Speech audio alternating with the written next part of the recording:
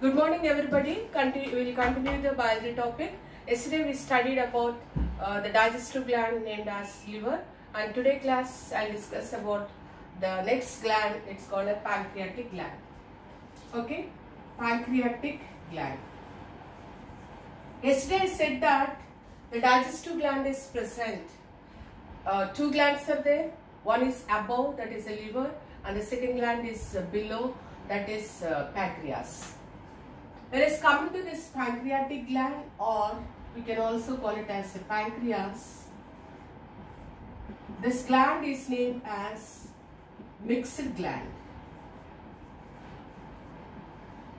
Okay. And it looks like as leaf-like structure. Leaf-like structure. It is present below, below the pancreas. Actually, why this gland is called as a mixed? Actually, what is the meaning of the mixed gland? Mixed. The two other substances, mixes, we'll call it as it's a mixed substance. Two or more than. So here, the mixed gland uh, called pancreas, it shows two types of actions. What are that actions means? One is it it has exocrine part and the second one is endocrine part.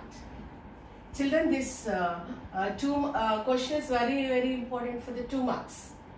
Why pancreas is called as a mixed gland? What is the role of this pancreatic juice and uh, how it will be acts? Okay, the mixed gland called as exocrine and uh, endocrine part. Exocrine part here it produces enzymes. Endocrine part, it produces hormones. Okay, you heard about this endocrine glands or endocrine part during uh, class 8. Endocrine part, endocrine glands produces all the time hormones. Okay, these hormones directly they releases into the bloodstream and it shows an action. That particular topic we are going to learn in uh, next topic that is called as control and coordination. Whereas coming to the exocrine part, exocrine part is producing or releasing enzymes and releasing enzymes like pepsin. Once again, the same enzymes will be repeat uh, how what they produced in the stomach by the gastric glands and these uh, uh, pancreatic cells also produces the uh, the same one enzyme extra and the remaining two are the same. Pepsin lipase and trypsin. Okay? Exocrine part of the pancreas uh, pancreas produces pepsin lipase and trypsin. And endocrine part produces the hormones what are those hormones means hormones like insulin and glucagon. Shall I repeat once? Enzymes like pepsin, lipase and trypsin, hormones like uh, glucagon and insulin. Okay, now we'll study what is the function of these uh, uh, enzymes. Okay, this coming to this uh, pancreatic enzyme which is released, pepsin we already studied in gastric glands pepsin acts on the proteins. And there the proteins are converted converted into peptones. So here the exocrine part of the pancreas function is pepsin acts on proteins and converts and converts into peptones. Okay? Next Lipase, as usual, if any undigested fat is reached to this particular region, duodenum region. So, lipase acts on fats and it converts into fatty acids. Okay, next.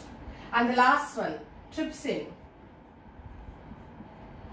Trypsin acts on peptones and finally it is produced or converted into amino acids. Okay, this is the function of exocrine part of the pancreas. Okay, Now guys, coming, uh, coming to the endocrine part. Endocrine part is releasing two hormones. One is insulin and the second one is glucagon. Okay, I, I hope you know about the insulin. The deficiency of the insulin results. Which does this children? Yes, you all know that the deficiency results diabetes. Okay, one if the insulin is there in our body and it converts the glucose into other uh, energy sources and it will makes that energy supply continuously. The deficiency of the insulin, what will happen? The glucose will not convert and it will be eliminates outside of our body along with the urinal passes. That condition we'll call it as uh, diabetes, diabetes insipidus. Two diabetes are there, one is diabetes insipidus and second one is the diabetes mellitus. The deficiency of the insulin results uh, the disease named as diabetes mellitus. The deficiency of the vasopressin hormone results the disease named as uh, diabetes insipidus. That we'll study later. Okay, so insulin conversion it will be on, it acts on the glucose and it will be converts in the form of an energy. Okay, yes. Whenever you takes the diet, the, uh, the diet conversions it will be takes place in three ways. Okay, uh, some amount uh, that uh, some amount of the diet it will be useful for the energy. If it is an energy, more uh, excess energy, that excess energy it will be converted in the body in the form of the fat and it will be stored whenever you are in the starvation that fat the reserved food only you will use to our body. Okay? A little amount uh, amount uh, it will be stored in the form of the glycogen shall I repeat once? Glucose conversions it will be helpful for to release an energy. Excess means excess means it converts into fats and it converts in the form of the glycogen okay? Yes. So whenever you are in the during the starvation. What will happen means uh, glu this glucagon acts on glycogen and it converts back into the glucose and so that and we get an once again energy resources during the time of starvation if it is short time. If it is a prolonged of course we, do, we know that what will happen. If it is a, a short time starvation nothing will happen to our body. Why? Because our body has reserved products in the form of uh, fat and in the form of the glycogen. So whenever this, there is no supply of energy, this glucagon acts on the glycogen and it converts back into the glucose and energy supply will be takes place to the body.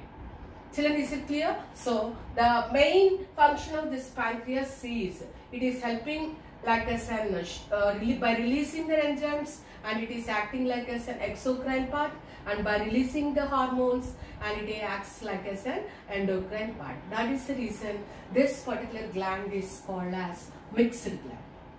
Children, I hope it is clear for you why pancreas is called as a mixed gland I explained and what are the uh, functions. Enzymes and uh, hormones will be released and we named them and I explained also uh, the functions. Okay children? Yes. The next point is the cells which are present in pancreas are called as islets of Langerhans. Islets of Langerhans. Yesterday we studied the new cells. The cells which are pre uh, present in the liver I explained. Those cells are called as an hepatocytes and these hepatocyte cells produces the bile juice. The, uh, the islets of Langerhans produces pancreatic juice and that pancreatic juice consists of enzymes as well as the hormones. Is it clear children? Yes, that's it. Okay, so these two glands present over the duodenum, one is above and another one is below.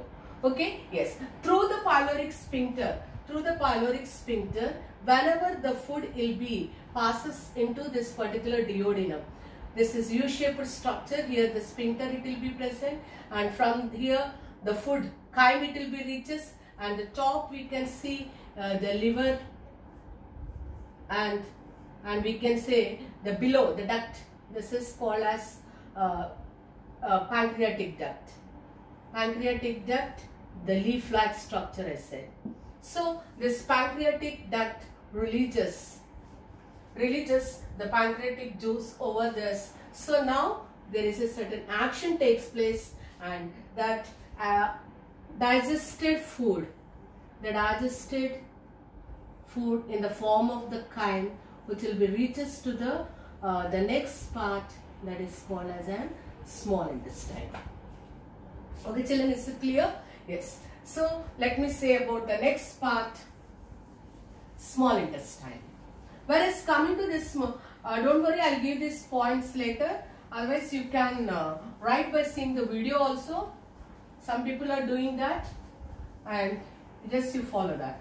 Okay, so the next, the next gland, next part in the human digestive system is small intestine. Small intestine. Okay, there is another name for the small intestine and is also called as ileum. I-E-L-U-M, ileum. Okay, this is uh, called tube-like structure. Okay, approximately uh, the 6 meters in length, 6 to 7 it goes like that. It's a very coiled uh, structure. Small intestine produces intestinal juices. Intestinal juices.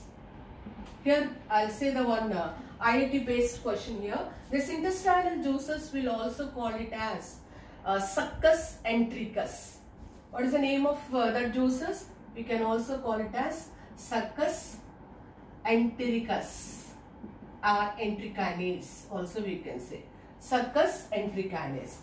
This succus entericanase releases more than 10 enzymes. So far we studied the enzymes uh, uh, very few. In mouth only one enzyme that is called as ptyalin or amylase and in gas uh, in the stomach there are three enzymes pepsin, lipase and mucin and the next uh, we studied about uh, pancreas only the three enzymes pepsin, lipase and the trypsin. There are no enzymes in esophagus as well as and uh, uh, pharynx. So, but whereas coming to the small intestine, the succus entericus releases more than 10 enzymes and these enzymes are like this. Maltase, sucrase, galactase, ASC, AS will come. Okay, lipase. Once again, the lipase. So, uh, the final one, uh, peptidase, peptidase, nucleotidase, nucleotidase. These are etc. So, these are all the more than 10 enzymes it will be released by this uh, um, juice and it will be released by the intestinal glands. Okay, small intestine is provided with an intestinal glands and intestinal glands and these intestinal glands produce intestinal juices and these intestinal juices is named as succus entericanase and this entericanase contains more than the 10 uh, enzymes at the action of all these enzymes the total digestion the digestion of the food it will be complete in the small intestine. Is it clear? Yes it completes in the small intestine and it ready to absorb.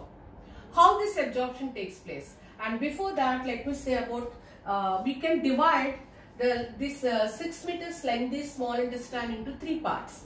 Okay? First part is where duodenum is open see where this this duodenum is open into the small intestine from here it continues okay first first reason is duodenal region okay and the second one is the middle portion the middle one we call it as jejunum. Children, this is also IC class, IC points. Uh, middle part we'll call it as jejunum. And where the small intestine, see this reason, where the small intestine will be open, where the small intestine will be open into the uh, the large intestine. that region is called as ileum. So that is the reason I said small intestine is also known as ileum part. Is it clear children? Yes. First one is duodenal region, second one is jejunum and the third one is uh, the ileum region. Okay? Yes. Next. This, uh, the walls, the digestion completes I said no? The digestion completes. The digestion completes in small intestine and it is ready for absorption. Okay, when it is ready for the absorption, how this absorption takes place means the walls of the small intestine, walls of uh, the small intestine is provided with the finger-like, finger-like structures and these finger-like structures we'll call it as villi. Many numerous finger-like projections will be present in the wall of the small intestine. Okay, so this villi is made up of the blood capillaries. Children, one, uh, one main point remember here, wherever the blood capillaries are there, there is a chance for the exchange of anything gases like gases and at the same time it is helpful for the absorption. With the help of these blood capillaries, uh, the digested food is absorbed by the uh, the walls of the uh, small intestine they are called, nothing but called as an villi and with the help of this villi what will happen means the absorption it will be complete. So the directly the absorbed food mixes in the blood and then we'll get an energy. So see, they don't think that uh, after taking the food immediately we'll get an energy. This process, of course, unknowingly, uh, unknowingly this uh, digestion is taking place in our body and to get an energy we require certain time. So the complex one, it will be converted into the simple and then finally it will be, the absorption it will be done in the uh, small intestine with the help of finger-like projections called as villi. So villi is, this point is important, uh, bit this is. Villi is made up of with blood capillaries. Blood capillaries and so the absorption it will be complete. So whenever excuse me, whenever the food is absorbed like that, for every uh, uh, absorptions, uh, what will happen? There will be the leftover product also. Best example I can say, whenever you are using the, uh, the chalk and writing on the board, what will happen? When you are writing, there will be the leftover product, the powder it will be settled over it. Exactly like this, whenever the food will be absorbed here, there will be the leftover product and that leftover product will call it as an undigested food. So, undigested food. So, now where this undigested food goes? So that undigested food goes into the next part and that next part we'll call it as the large intestine. Okay, so let me complete this topic today and once uh, then we'll reach, we'll move to the other topic. So the last part, the last part is large intestine. Okay, when it's coming to this large intestine and there is a other name for the large intestine also, colon. This is also called as colon. Uh, compared to the, uh, the length, they're short in nature. The large intestine is little bit short. Uh, approximately maybe uh, 3 centimeters uh, width width will be 3 centimeters. The small intestine is narrow and here uh, uh, we can say 3, 3 to just like that approximately. If it is wrong, I'll say the later correct one.